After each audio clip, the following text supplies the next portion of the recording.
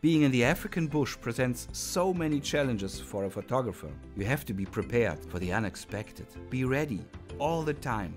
That makes me grow, makes me stronger. And I love to learn every time I go.